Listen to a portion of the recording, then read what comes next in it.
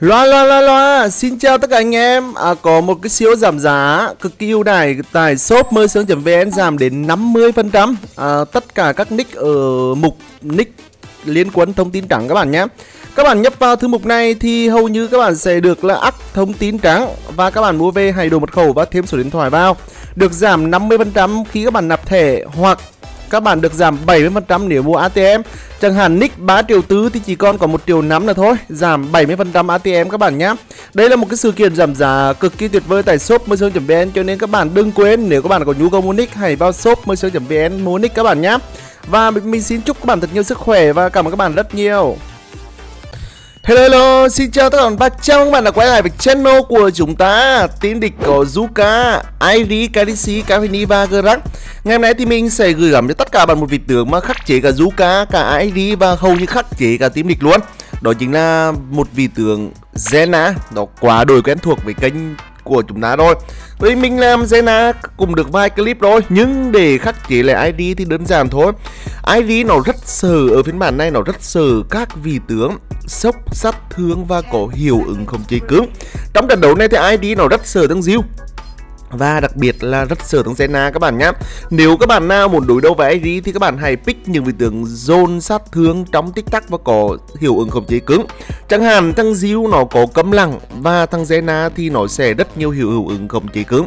Cho nên kèo đối đầu giữa Zena và ID mình không cho các bạn những cái gì ngoài cái việc các bạn đánh cái kiểu gì nó cùng win thằng ID các bạn nhé Bởi vì vốn gì cái đợt chỉnh sửa thằng ID này, nó vô tình nó vô tình để một cái điểm yếu rất rất rất yếu khi đối đầu với các vị tướng có hiệu ứng khống chế cứng như Zena các bạn nhé. Đấy, cho nên Zena đối đầu với ID nó cực kỳ kiểu đánh cái kiểu gì nó cũng win các bạn ạ. Và chỉ cần các bạn biết hiểu được cách combo của Zena thì các bạn sẽ chơi rất là bà cháy các bạn nhé cho nên là à, vì sao mình luôn luôn pick S5 là vì vậy bởi vì cái vốn gì mình muốn cho các bạn biết được cách khi những vị tướng team địch pick những vị tướng nào thôi thì chúng ta sẽ pick những cái vị tướng khắc chế các bạn nhé. Combo của Zena thì easy thôi. Các bạn sẽ đánh chiêu 2 rồi chiêu 1 chiêu 1 đấy, ôi ôi, thằng đây là đánh cao thủ hơn 100 sao ở giai đoạn cuối mua đấy các bạn nhé. Cho nên là nó sẽ rất thực tế cho tất cả các bạn nhé. Các bạn sẽ rất thoải mái. Còn ờ, combo Zena thì mình sẽ nói rất là nhiều lần rồi. Nhưng mình sẽ nói lại để cho tất cả các bạn biết được Zena nếu bạn nào chưa xem những clip kia. Cách combo Zena đơn giản các bạn sẽ hiểu được rằng là làm thế nào để được cấm lẳng thằng Zena thì đơn giản thôi các bạn ạ. Muốn được làm cấm lẳng ôi thằng ID nó áo cấp cực kỳ luôn các bạn kìa. Nó mình level 3 sao dư level 4 thôi. Nó bị minh hành từ đâu ghế bên dư mà các bạn. Rồi đấy các bạn cực kỳ hành nó hành đến nổi mà thằng thằng thằng, thằng ID không được phá anh em ạ đấy cứ rá là ăn cấm lăng đấy chúng ta sẽ hiểu được cái thằng uh, được cái tính chất gọi là kích hoạt cấm lăng thì kích hoạt cấm lăng thì các bạn sẽ quăng chiếu hai và chiếu một vào người nó. Hoặc các bạn đánh thương tâm 3 lần thì đối phương sẽ bị cấm lặng. Và cấm lặng thì đối phương sẽ không dùng được chiếu thức. Và khi không dùng được chiếu thức thì Zena sẽ kích hoạt chiếu 3 và dùng tiếp chiếu 2 để kích hoạt hiệu ứng không chế cướp khiến cho đối thủ không kịp trở tay.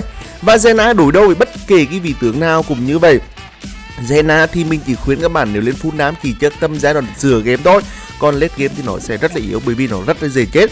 Cho nên tận dùng giai đoạn đầu và dừa game để, để chúng ta solo 4 cả một trận đấu thì nó rất là easy đối với vị tướng Zena này. Ủi rồi thằng Zuka này. Cảm giác như các bạn xem clip trước Zena mình làm ấy thằng nã cảm giác mình chạm vào người của một vị tướng là chết các bạn nhé và cái combo mình muốn nhắc lại một chút nữa để cho các bạn anh em nào khỏi quên Đó là khi tất cả các bạn combo Ôi dồi đi bay bay bay bay chưa bác? Ôi dồi à, Trời ơi Nó tốc biệt anh em ạ. Khi tất cả các bạn combo xong rồi các bạn kích hoạt chưa bá thì các bạn sẽ đánh thương luôn. Khi các bạn kích vừa kích hoạt chưa bá nhé vừa kích hoạt chưa bá một cái thì các bạn nhấp đánh thương một cái. Bởi vì khi kích hoạt chưa bá thì cái đánh thương của Zena nó rất chậm nhưng cái đòn đánh đầu tiên khi kích hoạt chiêu máy thì nó lại rất nhanh và liên hồi luôn. Cho nên cái đòn đánh thương khi mà kích hoạt cái chiêu bài thì nó rất là đau các bạn nhé. Cho nên khi các bạn combo chiêu 2, chiêu 1, chiêu 1 sau các bạn kích hoạt chiêu bá đánh thương một cái là mình nghỉ đủ cái lượng sát thương chết bất kỳ một cái loại bị tướng nào ở giai đoạn đầu và giữa game rồi. Cho nên là con chiêu 2 thì tùy thuộc vào các bạn có còn một hiệu ứng khống chế hay là dùng chiêu một để dồn kết liều đối phương luôn, thì tùy thuộc vào cái đồ máu của vị tướng các bạn muốn dồn. Đấy, cho nên cách combo là như vậy. Cho nên các bạn nào chơi Zena thì các bạn sẽ biết rồi. Nhưng mình sẽ nói cho các bạn nào chưa biết chơi Zena thì các bạn hãy tơi lại cái đoàn binh nói vừa rồi để các bạn hiểu. Đấy này, chiều hai cấm lặng, kích hoạt đánh thương các bạn thấy chưa? Khi nào mình kích hoạt, mình cũng sẽ đánh thương một cái. Bởi vì cái cỡ đo đánh thương này nó sẽ liên tục, nó sẽ xảy ra ngay lập tức luôn cho nên các bạn mà không đánh thương các bạn sẽ mất một cái lượng đám tâm một nghìn máu. Nó rất là phí phạm các bạn nhé. Cho nên là mình nghĩ là chỉ cần dồn như vậy là đủ một cái vị tướng chết rồi. Cho nên không cần phải dùng nhiều chiêu thức đâu. Trừ khi các bạn sẽ dồn một vị tướng tánh. Cho nên là như vậy. Đấy cho nên là uh, để mà chơi một vị tướng Zena thì nó rất là easy. Chỉ cần chúng ta hiểu combo thôi. Và đối đầu với ID thì cần phải như thế nào thì mình nghĩ là khi đổi đôi với ID thì mình cũng cần phải khuyến các bạn có một cái kinh nghiệm gì cả. Bởi vì vốn gì cái vị tướng Zena này là một vị tướng khắc chỉ cứng ID đã là khắc chỉ cứng thì đánh cái kiểu gì nó cũng quý anh em ạ. Đấy, cho nên không có một cái gì đâu. Đấy, cho dù thằng ID có zone đá với kiểu gì thì thằng Zena không bao giờ chết được, trừ khi các bạn có một chấm máu. Đây mình sẽ chơi thằng ID các bạn nhé chơi ID về này, thứ tư này. Rồi, khả năng không được, rồi ôi rồi nó chạy rồi anh em ạ. Cái phá nó chạy đó rồi tiếp theo mình muốn hướng dẫn các bạn cách chơi. À, ID là một vị tướng các bạn nhé một vị tướng đánh đe đường đánh áp lực một cái đường rất là tốt. Xuyên suốt từ hồi này để bây giờ các bạn sẽ mình đánh luôn luôn xuất hiện ở trong cái khu rực bua xanh của nó.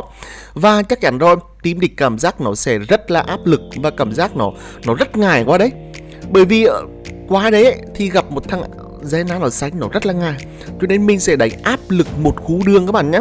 Mình sẽ để cái chủ của thằng ID ở đấy và mình sẽ luôn xuyên suốt để cho ID đứng cái chủ và mình sẽ khai thác ở trong cái đường rừng của nó. Và các bạn nên biết rồi cái lối chơi ID là một cái lối chơi đơn lập độc lập. Nó rất là mạnh các bạn nhé. Bởi vì ID có thể một cân hai được. Cho nên là mình chưa vội phá cái tủ mà mình để đó mình sẽ lấy rất nhiều cái lợi thế. Thằng Zuka làm gì để Zuka ấy? Đấy. Tăng diêu các bạn có thể các bạn thấy từ đâu game mình nó game này chỉ có hai vị tướng khắc chế tướng ID đó chính là thằng diêu và Zena các bạn nhé. Đấy cho nên là Diu và Zena cái đường này ai ID nó sống kiểu gì?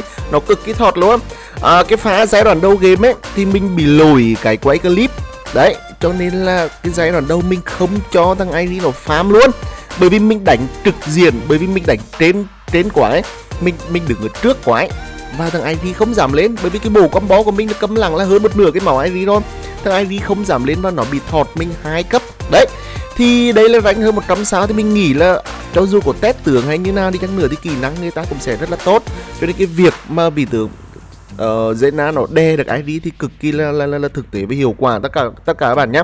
Đấy các bạn hãy nhìn xem này mình luôn luôn đánh nấp vào trong cái khoản đường rừng này như mình đã phân tích cho tất cả các bạn cách hái cách chơi tốt hiệu quả ở phiên bản hiện tại bây giờ. Một là các bạn đánh kiểu rừng thứ hai trong team. Đó chính là các bạn sẽ xuyên suốt đi gánh đường rông đường mít và luôn luôn có mặt ở trên những cái đường này. Nhưng và, và cách thứ hai là cách áp lực ở đường kinh công ở trong cái mảng rừng của nó. Rồi cái phá chết rồi chưa ba đập thương. Đấy các bạn thấy chưa?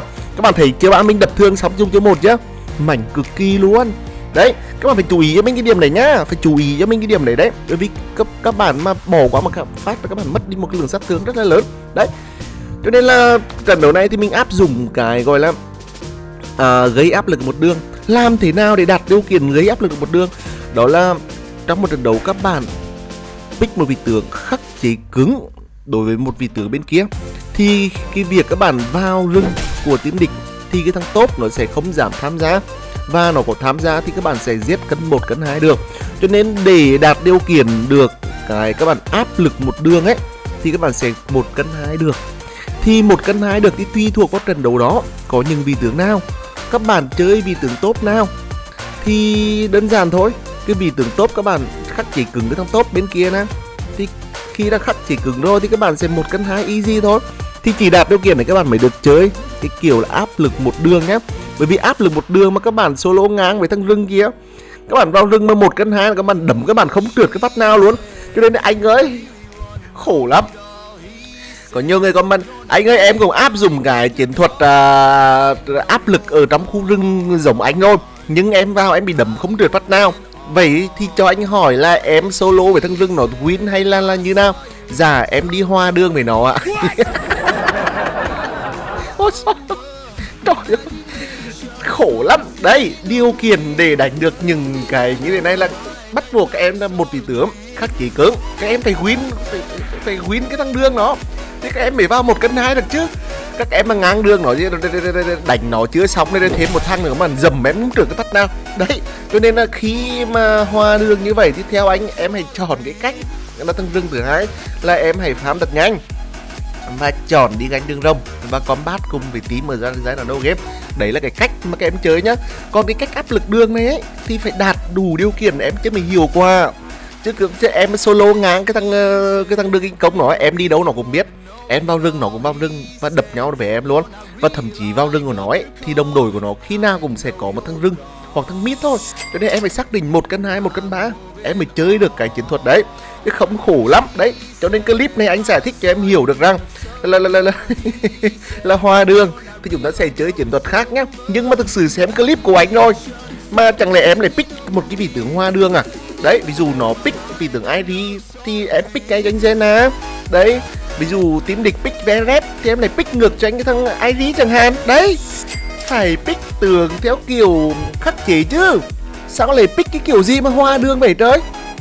Đấy xem clip của mơ sướng mà pick những vị tướng hoa đường là, là, là, là không được đấy nhá. Đấy là những cầm nang mình cho các bạn những cái vị tướng cho các bạn biết được các vị tướng đối với nhau khắc hệ nó kiểu khắc chế nhau cực kỳ cứng luôn. Cho nên cái việc các bạn gặp thằng ID đi đường các bạn cầm xe ná các bạn đánh kiểu gì mà win mình? Các bạn hãy tin mình đi. Các bạn là một người cầm Zena kém nhưng nếu để mà win đường thằng ID ấy, thì các bạn đánh cái kiểu gì cũng win quan trọng người cầm chơi Zena ấy nó có làm được nhiều việc cho team nữa hay không? Đó mới là cái điều quan trọng. Còn cái việc mà win đường thằng ID là easy đối với Zena các bạn nhé. Đấy. Các bạn uh, ok chưa? Còn tiếp theo muốn làm việc hiệu quả cho team bắt buộc các bạn phải có cái lối chơi gây áp lực ở một cái đường rừng đấy thì team địch nó sẽ bị một cái gọi là ngay cái bản thân mình vậy một người đi rừng, mà bị một cái thằng nam sánh của nó nó cứ cái cái cái mảng khu rừng để mình cảm giác nó lo lắng không dám vào ấy. Thì cái tâm lý của người chơi team địch đi rừng bên kia nó sẽ bị hàn hẹp rất là nhiều. Và cái việc, ngoài cái việc ở trong cái khu rừng đấy, chúng ta sẽ bắt lẻ và bắt lồi rất nhiều của các vị tướng di chuyển qua khu vực đấy thì nó sẽ giúp được cho team mình rất là nhiều và chúng ta sẽ giúp cho team chúng ta snowball đến giữa trận đấu và cuối chớm late game chúng ta sẽ win Đấy, và cách chơi đặc trưng của Zena thì nó luôn luôn nấp bùi thôi các bạn ạ. Đã là một cái vị tướng xanh sao? Thì chúng ta không bao giờ để đủ để, để lộ sai các bạn nhé. Chắc chắn rồi, nếu chúng ta mà để lộ sai thì cái việc ám sát các vị tướng khác nó rất là khó. Cho nên ngoài cái việc gây áp lực và những cách di chuyển các bạn hãy nhìn cách của mình được nè. Luôn luôn là giấu sai các bạn nhé. Mình sẽ luôn đi theo sau team địch Và luôn luôn là giấu sai Đấy, từ từ từ từ từ bình tĩnh. Chắc sẽ có một cái con mồi nào nó nó quá này thôi. Các bạn hãy yên tâm, hãy tin tưởng vào cái đồ dấu sai của mình. Ồ, ôi, tim địch rồi bắt đầu từ từ. Mình là thấy tim địch khá xa cái chỗ của mình thôi mình sẽ lén lỏi từ từ, đây đây đây đây rồi. Từ từ, đây, rồi, xong. Một thằng, chào anh Grab, tiếp theo. Ôi rồi rồi, chào anh. Ui dồi mạch ôi kẻ một phát gần chết anh em ạ. Rồi, chào anh cái đinh xí tiếp theo. Rồi chống hai. Chạch đấy các bạn thấy chưa? Thì mình hy vọng xem clip này ngoài việc các bạn khắc chế ID thì các bạn bắt buộc phải cố gắng gây thêm nhiều áp lực cho team địch và mang nhiều lợi thế cho team mình để các bạn sẽ có nhiều trận đấu. Win thật là hay hơn và do chính các bạn gánh team nhá. Và mình xin chúc tất cả các bạn thật nhiều sức khỏe và cảm ơn tất cả bạn rất nhiều và tất cả bạn ấy. Mà yêu, bye bye!